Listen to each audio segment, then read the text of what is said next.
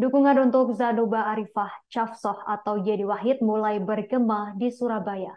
Perkumpulan Kiai Kampung dan para Gus di Surabaya menggelar zikir bersama mendoakan Yedi Wahid maju sebagai calon wakil presiden di Pilpres 2024. Doa bersama berlangsung di Pondok Pesantren Sunan Kalijogo II yang berada di Kecamatan Wiyung, Kota Surabaya pada Minggu 17 September 2023.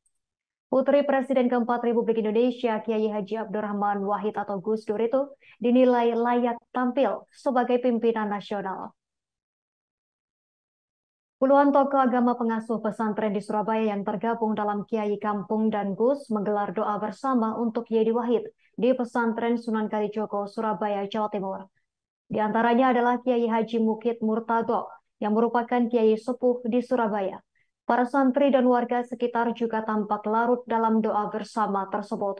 Kegiatan doa bersama para kiai itu disebut sebagai usaha mengetuk pintu langit, yakni mendoakan Yeni Wahid agar bisa dilirik oleh para capres sebagai cawapres, pendamping di kontestasi mendatang.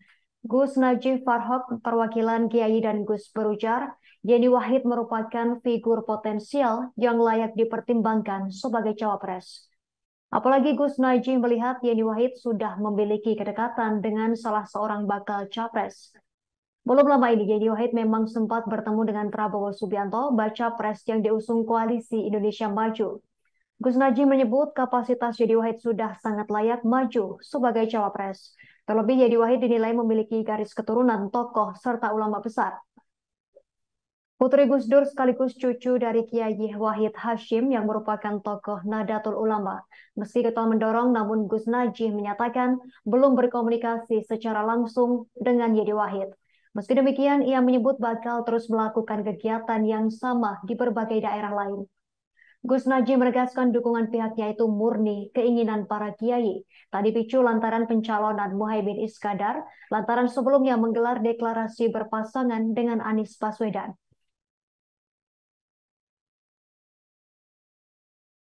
Dan seperti apa sih harapannya Gus?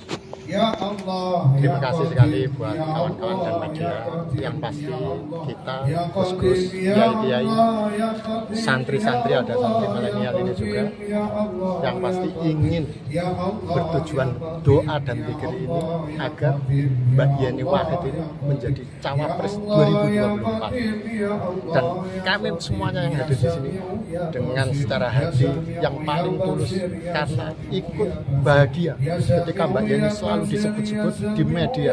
Akhirnya kami tergerak duduk bersama mengasih, mengadakan yang semacam multako kiai dan gus-gus untuk doa dan berpikir agar para elit-elit politik ini terketuk hatinya di tahun 2024 agar Mbak Yeni bisa menjadi Wapres Republik Indonesia. Terus kira-kira akan dipasangkan dengan siapa nanti Mbak Yeni? Apakah dengan kalau yang kita lihat semuanya kan bisa melihat di media-media bahwasannya yang terakhir-terakhir ini kan media menyudut kepada siapa? Terakhir Mbak Yeni ini langsung datang sama Bu Sinta. Langsung masuk ke kediaman yang terakhir kali ketemu siapa mungkin para media udah tahu lah siapa yang terakhir ini di silaturahmi itu harapan para kiai dan para gus-gus ya beritanya udah tersebar lah tahu semuanya mungkin terus setelah kegiatan ini nanti untuk memastikan Mbak Yeni bisa dapat tiket dari uh, salah satu cawapres apa yang akan dilakukan? Untuk gas kita ini para gus para kiai itu tidak lain. Kita itu ingin mengetuk pintu langit agar bisa merubah hati-hati para politisi ini dapat hidayah oleh Allah. Kita itu tidak melihat sosok Mbak Yeni tapi di situ kita melihat pertanyaan